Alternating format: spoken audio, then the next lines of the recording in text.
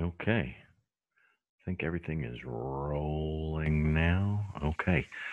Uh, residency info. Okay. So this is the weekend of the uh, last week of September, first week of fall. And our residency session is uh, next weekend, I guess. Uh, it's Saturday morning right now for me as I record this. Um, our residency session is um, Friday the 2nd through Sunday the 4th. And we'll go through the schedule and the um, the assignments that we're doing um, are going to be individual.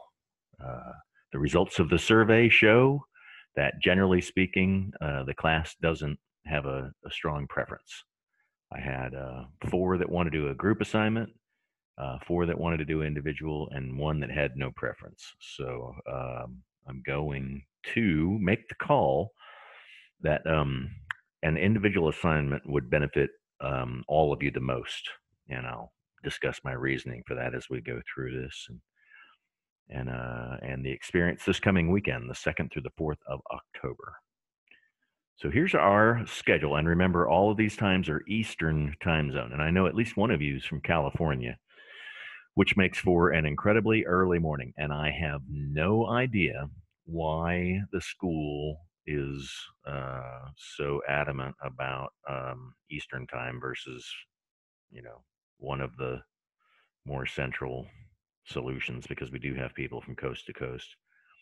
But anyway, such it is, such as it is. C'est la vie, such is life.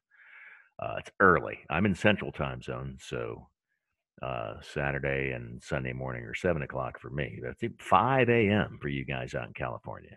Um, so that's tough. So make sure you got plenty of coffee on hand if you're out in the in the west, the wild wild west, and hopefully you're safe if you're in the west.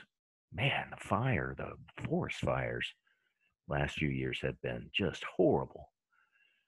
Um, Okay, so uh, yeah, we meet for five hours on Friday, and then um, uh, what 11 and a half minus a lunch, so 10 hours on Saturday, and and another five hours on Sunday. So 20 hours of work, um, plus whatever you got to do, you know, like Saturday night um, after we conclude um, to to finish up uh, and and and get a decent grade and get a decent product product finished. Twenty hours. So we will check in um, on Friday at uh, five Eastern, and uh, and I'll I'll go over uh, in more detail what we're doing for the weekend, and then uh, um, have plenty of time to ask questions and whatnot. Um, there will be uh, check-in posts um, all three days uh, that I'll need you to check in. They are just uh, rabid about you students checking in for attendance. Um, I I don't know if there's been issues or what, but so uh, uh, you'll see. Um, if and if you don't check in, I'll remind you. Um, uh, Friday, uh, Saturday morning, Saturday afternoon, and Sunday morning. Um, so there's basically the schedule: uh, five to ten Friday, eight to seven thirty. Again, Eastern time zone. Um, eight to seven thirty Saturday, and eight to one Sunday. Okay, so these are individual assignments, and you'll complete three of them. Um, now you can get a little bit of preliminary work done, and you you can, and I encourage you to basically complete your practical connection assignment um, before the weekend.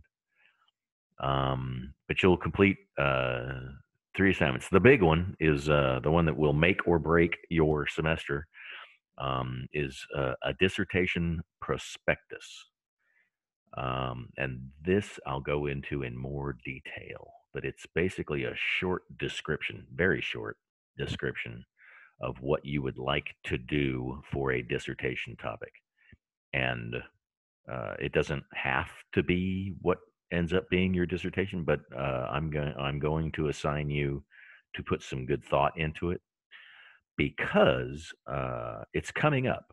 Um, in fact, some of you are nearing the end of your coursework, and very soon a faculty member is going to ask you, "What are you doing for your dissertation?" And uh, I had an excellent student last term um, that uh, had had given it no thought because it's not built into the program at all. And if it weren't for the the preparation I had given him, he would have had nothing to offer, and uh, and it would have put him behind schedule in that course. So uh, Dr. Brown, my boss, the uh, the program coordinator for the PhD IT uh, uh, department program. Um, he he uh, con- consistently and constantly encourages us to prepare you for your dissertation journey. So that's what I'm doing, rather than another group paper that blah that one or two people really really work hard on, and the rest just kind of sit there and uh, group papers. So uh, yeah, uh, we're going to do individual individual papers, individual presentations on Sunday. Um, so there you go. A dissertation prospectus is a short uh, beginning description of what you will be doing, what you're, what, what you think you might like to do for your dissertation. So it's a topic of your choosing. So if you get into some, you know, rabbit hole, um, that's it'll be of your own creation. Okay. I'm not I'm not assigning this stuff and then you you know making it making it hard for you. This is, should be something that you you just love. Pick pick a topic you love. Uh, write about what you know about. Um, we'll uh, we'll get into that a little bit more. The practical and the presentation is just uh, literally a PowerPoint and a 10 minute uh, talk, a TED talk um, on on what you're doing and why and why it's why it's worth looking into and um, what research questions you'll ask. Um, uh, and then the practical connection assignment, guys. This is um, where I have seen, oh, I would guess 20 to 30% of students get a zero because they turn in something from a previous semester or they, they, they write something that's not true and, uh, and wind up getting a zero. And it's a shame because this is the easiest assignment um, in a PhD program, this practical connection assignment. So looking at the syllabus um, and and the the topics, you know, we we've only had what five weeks uh, to talk about data science and visualization and uh, R and Python and uh, things like that. So you're going to have to look at the the the syllabus and project what might be of interest to you or what might help you in your career.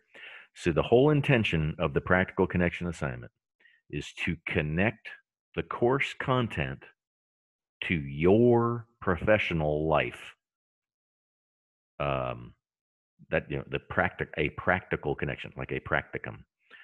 Um, so uh, don't just talk about data science in general, or you'll get a zero. Uh, don't make claims about the course that aren't true because you're using, you know, an old practical connection assignment or one that you've downloaded from the internet, um, because you'll get a zero. Uh, write originally, this is like a memorandum, just like a letter, a memo to from you to me. You know, dear Dr. Walker, uh, the content of this class um, connects to my professional assignment because I am a programmer and I've wanted to expand my learning into data science. So, discussing R and Python and other data science, blah, blah, blah, blah, blah. A letter, a memo from you to me talking about this course, uh, its content, and connecting as to why it uh, applies to your um, your professional life. And you can also describe why it does not. Um, like blockchain, you know, if if if you've got no interest in that and you have some particular thoughts or observations or you've learned some cer- certain things about blockchain that you want to discuss, just make sure you're being real. Okay, be for real, uh, which is falling on deaf ears, as they say, um, for some folks in the class. And I just, it's going to be a tragedy. And uh, I, I, I would like to avoid tragedy. So those are the three assignments. Uh, three to five page paper for the prospectus, uh, um, and five, six slides for your presentation. No big deal. This is easy stuff if you just uh, do the work and uh, and do it originally. Um, it'll be great practice, and you'll have a a, a start um, toward your dissertation, so that you won't be caught uh, flat-footed um, when you reach your uh, your dissertation courses. Okay. Uh, so it's a paper. You know, I want to say three three pages minimum, uh, five pages max. Um, but if you if you edit it well and you don't just put stuff in there for filler, uh, um, three three pages will will answer what I'm looking for. Um, so it, it's not difficult, but it needs to be three pages, three good pages. Um, of course, we're using APA format. Um, minimum of six, uh, but I, I would think you'd you'd have more. Um, and again, originality is key. I don't need none of this is going to be background blah blah blah uh, in this prospectus. There's no there's no room for any uh, extensive overview. It's not going to do you any good. It's not going to get you a passing grade to fill this up with background. Uh, I'm, I'm, providing a template. I'm asking for specific content, and uh, and there you go. Um, the the the main skill uh, that this is showing is that you know how to look in the literature, and we've talked about this. And if uh, if you haven't been practicing, it's going to show.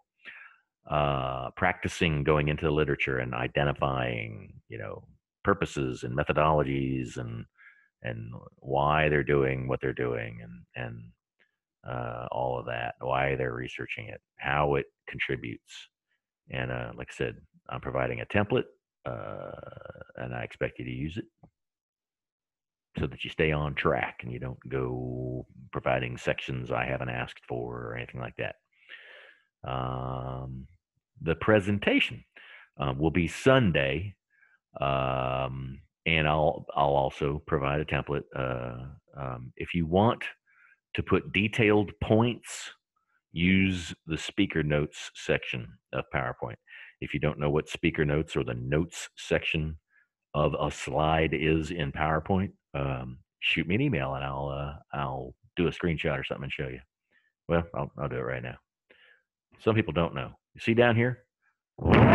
Click to add notes. Sometimes you can, you know, here I can put notes. Okay. Uh, some people don't know where that is. And sometimes PowerPoint hides it way down here, way down here. And you, you can't even really tell that there is such thing as a notes pick if you haven't worked in PowerPoint. So you grab that gray line and where it says click to add notes. That's where you do. So if you want to do a uh,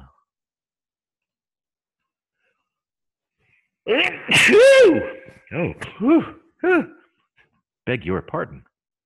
Um, if you want to do extensive speaker notes like a script, things that you want to make sure that you cover, uh, put them in the speaker notes and turn them in with your along with your assignment. Um, uh, be prepared to take questions from your classmates and me. Um, I uh, I may institute something where I call on one or two of you and make you ask a question. Because in my experience, no one is listening. You're all still working on your practical connection assignment or your paper, and you're not actually listening to your classmates and you're not learning from each other. Um, with the with a couple of exceptions, and um, and I'm I may I may do that uh, technique where I just call on somebody to say, "Hey, got a question?" So your presentation should be about 10 minutes. Um, for everybody's sake, uh, get a he- headset and microphone. Okay.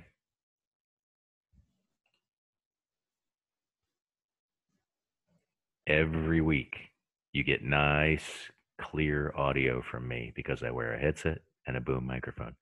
And it is a little uncomfortable. It is. And yes, they cost $20. Please, please use one. All right. Um,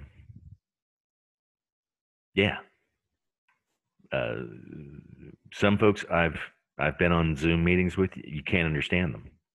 Um, so if I can't understand you, um, it it it's not a good thing.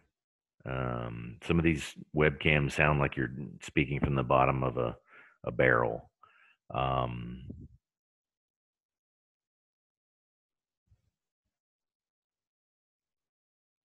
so you know we've all been working from home, I would think, uh, and using Zoom for pretty much everything. So yeah, headset and microphone, please, or at least a microphone. I I I've never used a microphone without a headset. Okay, so that's the presentation. Um, it's very much like what I'm doing every week. You see me giving you a PowerPoint presentation with bullets on PowerPoint every week. So you get to be the lecturer, the professor on Sunday morning. Uh, okay. Um, like I said, the university is uh, is under a lot of scrutiny for attendance, so you'll need a camera, absolutely, uh, and like I said, you know, headset and microphone. Uh, typical laptop setup, um, but the camera has to work. Uh, it has to, or you will not get credit for the residency session. So please don't email me and say my camera doesn't work. Go buy a webcam. Um, like I said, if I can't take attendance, you won't get credit, and it's uh, there's nothing I can do about it. Um, so you'll need to show a government ID. What they suggest is your uh, driver's license. But if you're uncomfortable with having like your address or the driver's license number recorded, um, you're uh, you're free to put a little piece of uh, like a maybe a post-it note or scotch tape or something over over. I need to see your picture and your name. That's it. Um, so there you go. Mask any PII, personally identifiable information that you don't want recorded. Okay, so don't be late. Okay, we're not. Tra- nobody's traveling. Um, so uh, wherever you're going to do this residency session, you know, wherever you got good, strong internet and a comfortable chair and access to coffee and snacks, um, you know, we're getting together at four four o'clock central Friday, which is right around supper time, and we don't get a supper break.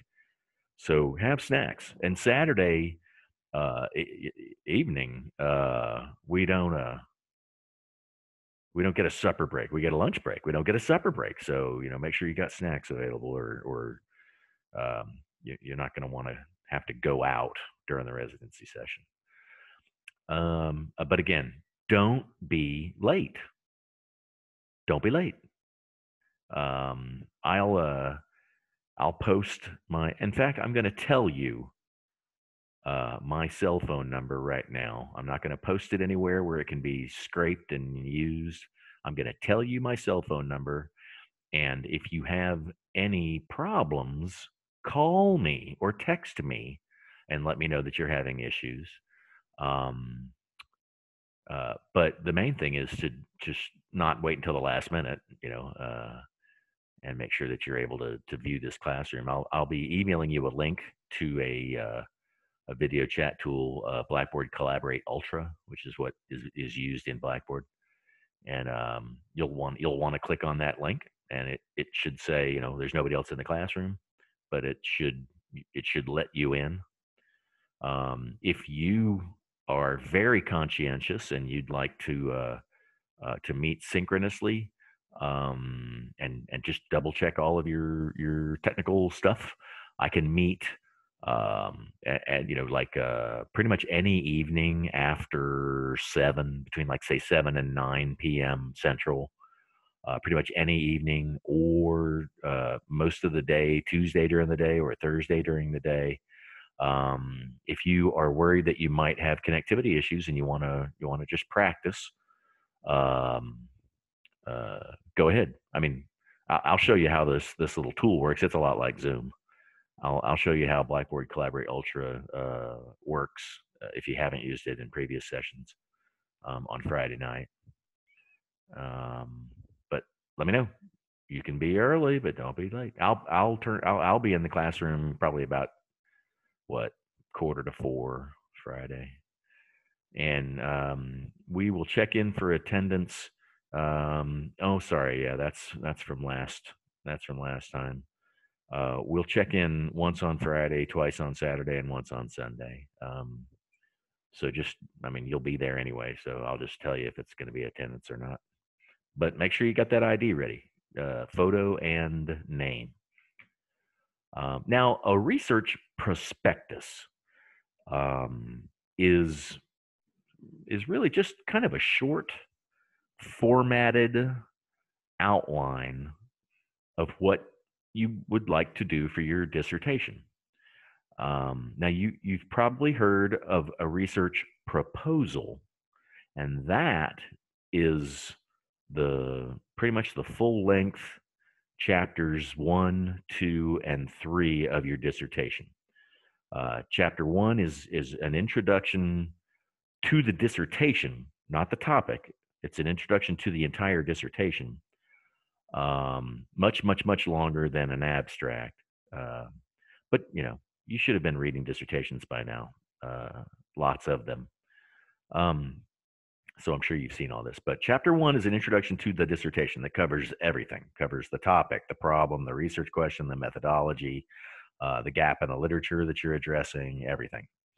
Um, chapter two is your review of the literature, and that proves to your committee that you have mastered the literature that tells a story um,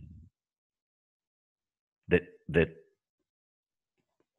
pretty much describes why and how uh, you came to where you're at in in conducting your research and why it's valid, why it it uh it it's an appropriate thing to do because you will have identified a gap in the literature um, using at least one author, but likely you'll use several. And again, I, I've, you know, I propose, I, I posted my dissertation. You guys are welcome to ask me questions about my my dissertation. Of course, I haven't even looked at it in in a while, so I'd have to go back and read it myself. But uh, it made sense when I wrote it.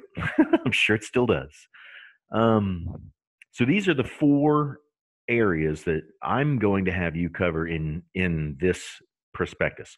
The university does not have, uh, or at least hasn't shared uh, with me as an ITS 832 and 836 and I, another master's course.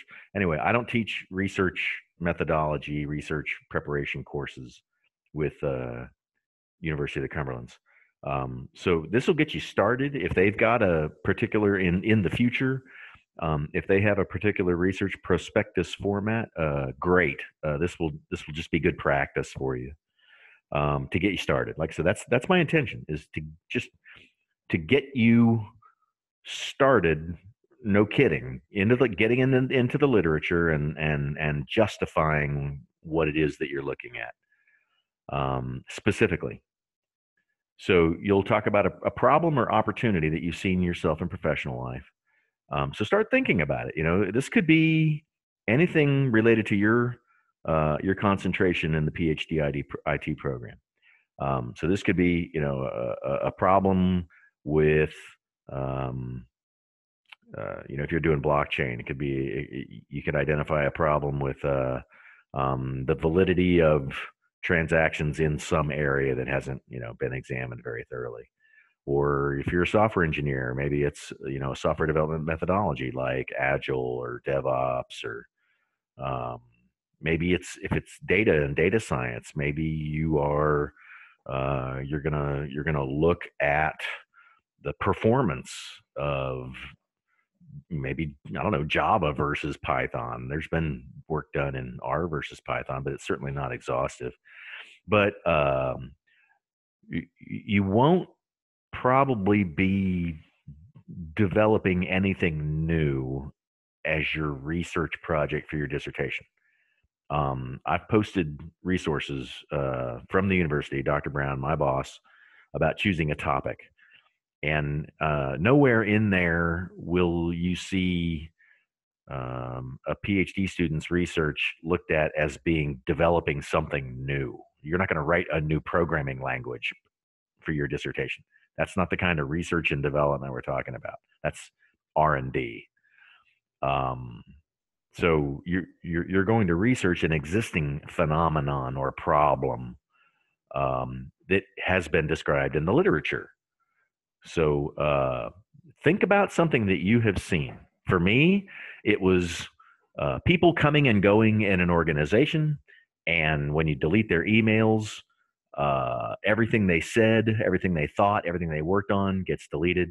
And if you use shared drives to store documents as a knowledge repository, they turn into snarls because people come and go and and and there's very little discipline and and you get you know bad or no file management no knowledge management so if all you have is email and the operating system file system uh, it turns into a, a mess so that was basically the problem that i examined and i found that it had been worked on uh, myriad ways in the literature and i justified my problem in my dissertation uh, so you need to think about something you have seen yourself that is a problem that has to do with your concentration. That's the thing. Okay. Now, a research question isn't just an area. You know, a research question isn't cloud computing. Okay. That's not a question.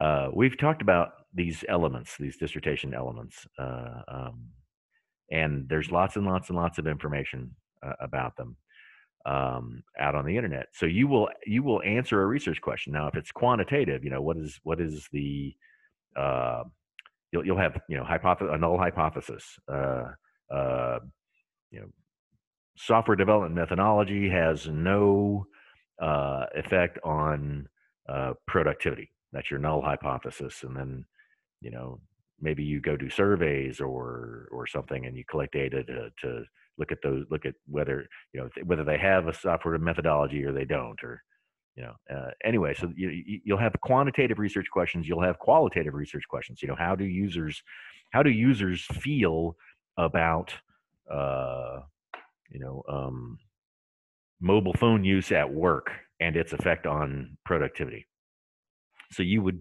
you would probably do a qualitative study where you would ask people how they felt about their coworker constantly looking at their phone when they should be working.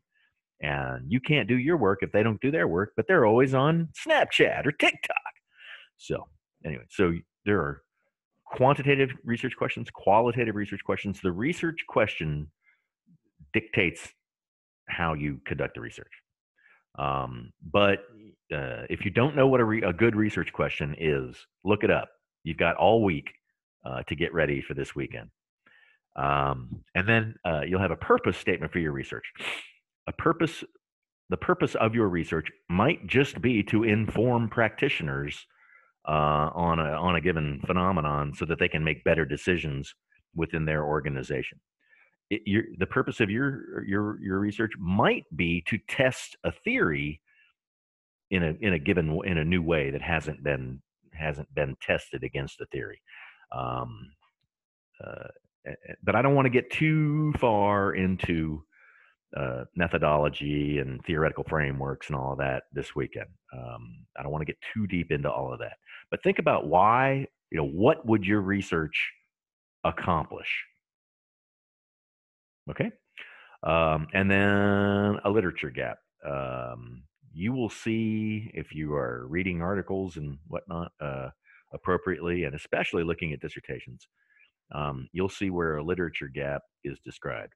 Generally speaking, um, once you really start looking at a problem area, you'll find that there's an enormous gap in many, many places. uh, there's all kinds of research that can be done. A lot of people worry, a lot of students worry about, uh, um, like identifying this gap, like like it's a physical place on earth that that has to exist it's uh it's it's conceptual. It's an intellectual gap in the literature.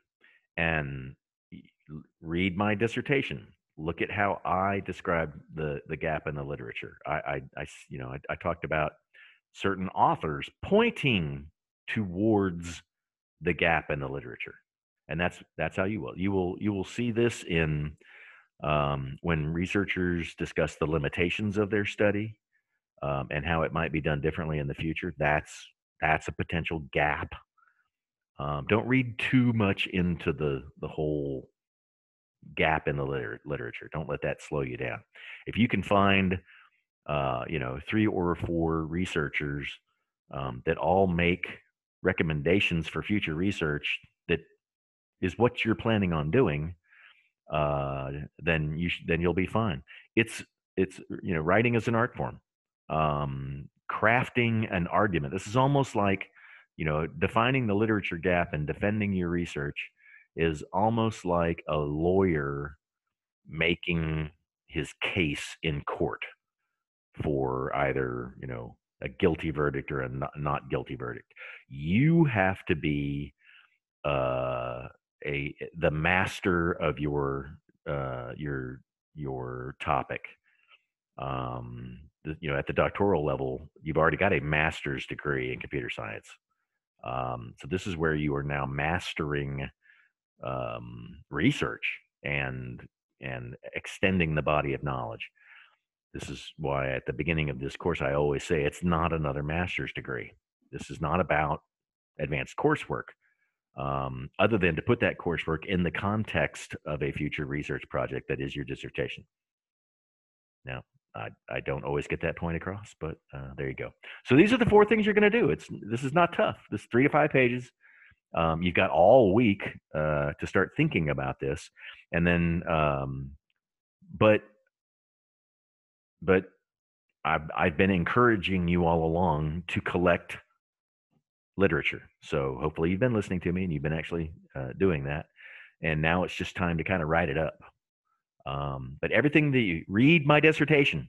Everything that you write uh, up will need to be justified in the literature Okay. Um, so you can't have any areas where somebody can say, says who? Says who? You can't make statements that are that are un, un, un undocumented. Uh, um, not as a student. Um, they call it having standing. So that's the prospectus. All right, guys, and I'll go into this uh, more and have some uh, some uh, um, examples and whatnot uh, on Friday. Okay, keep an eye on your email this week um, for the link to the classroom and other nuggets. Um, some of you owe me um, more than one email. I've asked you questions in your papers and you have not replied. You have not answered those questions. Um, I, I don't want to have to go back to those papers and change the grade to a zero, but I don't ask questions rhetorically. Uh, generally speaking, I, I want an answer. If I asked you where somebody addressed something um, in an in a, a, source, you need to respond to me um, and let me know where that where that source uh, said that. Um, uh, some of you owe me uh, just emails I have sent you, not not not embedded questions in your your assignments, but I've actually sent you emails asking you questions. Uh, I need those answers. Okay, at the uh, in the uh, in the syllabus, you're going to see a week six research paper due on October 4th, but that's our residency weekend. So what the university has us do is is adjust uh, not the syllabus, but adjust the assignments themselves to reflect the reality of the the um, the residency weekend because it it isn't the same for every section. Um, so you will have your that week eight paper uh, that or the the week eight topic, and it says no assignment due um, we'll we we will have the the the 20 points for this week's week six paper will be due in week eight So the only thing that's due on October 4th are your residency, your three residency um, um, assignments. So if there's any questions on that, shoot me an email.